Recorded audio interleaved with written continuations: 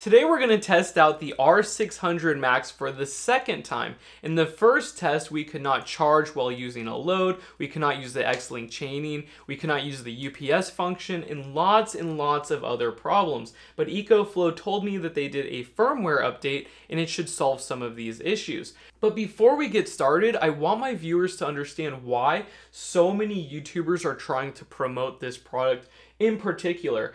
EcoFlow is offering 8% commission for every unit sold through their affiliate tracking link. So there's going to be lots and lots of YouTube channels that are going to be like, oh, this is the best thing in the world, you have to buy it. It's because they're trying to make a lot of money off of you guys, all right? So be very careful when you see information on YouTube. And it amazes me that my initial test results were so bad and there's still so many YouTubers trying to promote this product. So yeah, do not pre-buy anything, all right? Wait until people actually have it. There's actual reviews from people that paid with their own money until you buy a product. I would never pre-buy this or any other solar generator on the market. So yeah, without further ado, let's do the software update and see if they actually fix the problems. So here's the EcoFlow app and it shows both of my units are connected. So we're gonna click on the second unit and I have not updated this one yet. We go to system and we press check updates and then upgrade. Now that it's upgrading, you can see the light illuminate on this unit and we will come back in a few minutes when it's done. So I did the update and they will not turn back on. I don't understand why. So I'm trying to reconnect and they misspelled waiting. There's two T's. So yeah, they really have not thought through this app that much. Now they're finally connected, so let's try to control them remotely. Let's try turning on the light. Okay, it is not responding. I can't get it to work, you guys. Let's try the inverter. Okay, the inverter just turned on for this unit. Let's try the DC output, and this one's not working, so I can't get the DC to turn on. The AC remote control is working, but everything else is not. So I thought that it did a system update, but I think it failed because the version number is not correct. We do not have the most recent version. So we're gonna try upgrading again, and let's see what happens. It is painfully slow. Last time it took like 30 minutes. And yes, we are very close to the router. It's very fast internet here. So this unit was updating for over an hour and then it just disconnected randomly and it says device offline. And it was only like 10% of the upgrade. Going by its little graphic, it would take like 10 hours to upgrade the software. I cannot do it. So what I'm going to try to do is put the standby time to never. It was set to two hours and it cut off after one hour, but maybe this might help. And we're going to try updating it again. So let's go to the first upgrade press upgrade and see what happens. After two and a half hours, I finally found a way to update the firmware, but it doesn't show an updated firmware version number. But the reason that I know that it's different is things are actually working now. I can remotely operate the light and also the inverter, but the firmware version number has not been updated. But it took two and a half hours for me to update this firmware. This was very difficult. It would disconnect halfway through it. So these units should actually be ready for testing. And this firmware update is only for the inverter, but it should help with the UPS function as they said in the email. So let's test that out first. So right now it's charging at 340 watts and we're gonna add a 600 watt load. And this is perfect, 560 watts at the output and 897 watts at the input. So it's actually working as a UPS. Which is actually a very good sign. It never did this the first time we tested it. Now let's connect two of these together for UPS function and see what happens. Now the AC output is connected to the input of this one and we're gonna add a load. And it's actually working. We have 900 watts going in over here, 560 watts going out, 540 watts in, and 540 watts going out. So this is great. I am actually very happy that it's actually working now.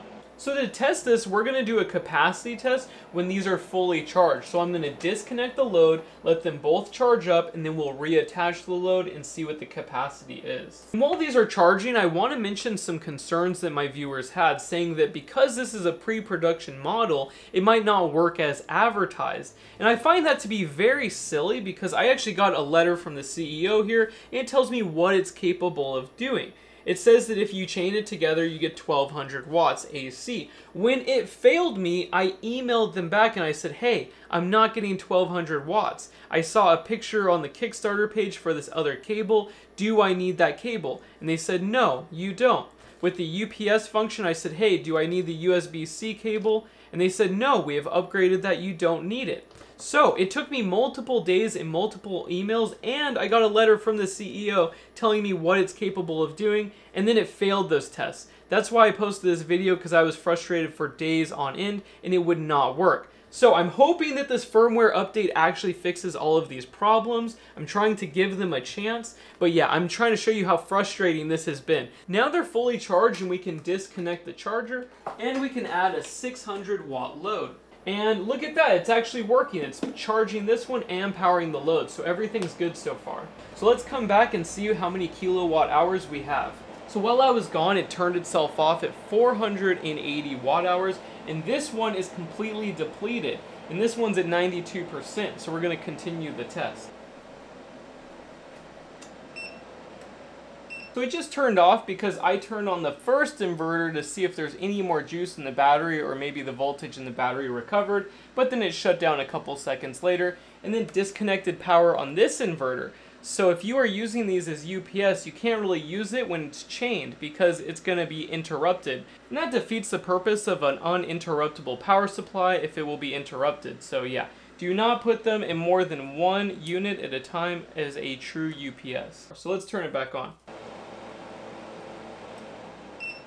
So we tested 880 watt hours at the receptacle, but it's rated for 1,152 watt hours. So what we're to do is divide it by the inverter efficiency, which I'm thinking from previous testing is 87%. And that gives us 1,011 watt hours. So we need to subtract this by what it's rated for. So even with inverter efficiencies accounted for, we're still missing 140 watt hours. So I don't think it passed this test. Power was interrupted and it didn't pull full capacity. So yeah, not very impressive. And we've got over temperature warning on both units. And this one hasn't been running for about an hour. So this is a very similar problem that we had with the EcoFlow Delta. And as we imagine, it's not charging because it's overheated, which is a good safety feature to have, but keep that in mind if you're trying to cycle this unit very quickly. You just can't do it. So yeah, I'm going to come back in a few hours and we'll do the next test. It's been charging for a couple hours and it is very slow. So when these are warm, it's the same as the EcoFlow Delta. The charge rate is drastically reduced. Now we're going to test the X-Link chaining feature, and previously it failed at 900 watts, but it's supposed to supply 1200 watts, so we're going to try it again. And this is 1150 watts, and we're going to test the capacity at that rate. Really? It doesn't work? Come on, man. Come on! I actually thought it was gonna work this time. What a bummer, man. And they actually both shut down this time. In the previous test, only one would shut down. So this is slightly different. All right, now they're both running and we have the symbols showing that they're connected. So we're gonna add a load.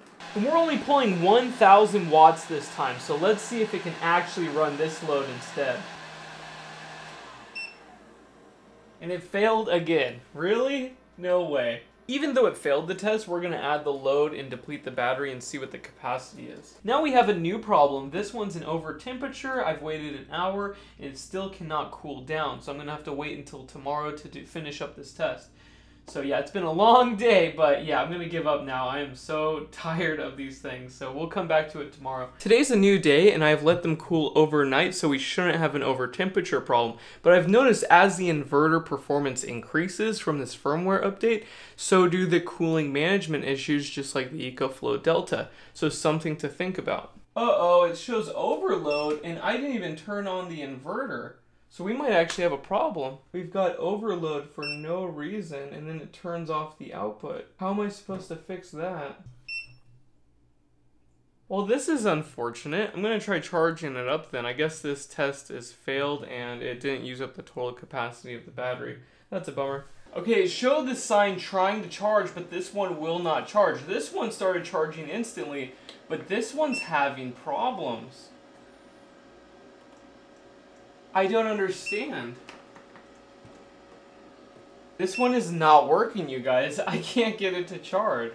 So I guess we're going to continue the test on this unit and just push that one to the side. We're going to see if it can handle a load while charging with solar. It previously failed this test and I'm hoping that they fix this. So now we have a 600 watt load and we're going to try to charge with this power supply that will mimic a solar panel at 20 volts. And it's actually working. It's been a couple minutes and it's still charging while the inverter is at full load. So this is great. I think they fixed this problem. Now I turn the load off and it is still charging, so let's add the load again and see if it changes. And it's still working, so yeah, they fixed this. Good job, you guys. Awesome. So this firmware update has solved quite a few issues, but it still failed numerous tests, so it still needs work. Also, this one is still dead. Every time I try to turn it on, it goes into overload. I cannot charge it, and I don't know how to test this one any further because it keeps turning itself off. So I really don't know what to say about this one. I think it's dead. Nothing else actually works on here too. You have to turn it on, and then when you try to turn these on, it doesn't let you. It shows overload still, and then it turns itself off, so yeah, that's a bummer. I don't know what to do there. so I'm glad EcoFlow made these changes, but I'm pretty disappointed. I don't know why they would send this out to me. I think a lot of these companies make a lot of money off of these pre-sales or letting the consumer pre-buy it on a Kickstarter package. And this is a pretty strategic method because people will buy these things sight unseen without any reviews because they have all the features that they need. And I have to give EcoFlow credit for some of the features that this has. This is exactly what we want, and the R600 Pro seems to be perfect. Lithium iron phosphate battery, you can expand it with other 12 volt batteries, it can charge quickly, so I think they have the right idea, but they really need to fix these problems. So I really hope that they fix especially the UPS issue with overload because it shouldn't be doing that. But yeah, the inverter is working better, but now we have temperature management issues and the UPS goes into overload if you chain them. So yeah, I hope they fix that in the next update. I really don't want to make more videos like this where I'm constantly experimenting for multiple days. Like the test at the end when we tested if it could charge while there's a load applied, it took me a couple minutes and I was done. Okay, that's how testing should be. But for me, I'm just running into problem after problem and just updating the firmware took two and a half hours. So that was very frustrating. And it is possible that EcoFlow will fix all of these problems and it will be a good device. But it just scares me all of these problems that I'm having. And I keep seeing other YouTubers saying, oh yeah, you should buy it, it's the best. It's because all these people are making a lot of money. So I would hold off and wait until there's further reviews by other people and see if it actually works well. I would wait until like six months after it's released just to see if it's reliable. So yeah, I hope you guys like this video and I will talk to you soon. Bye.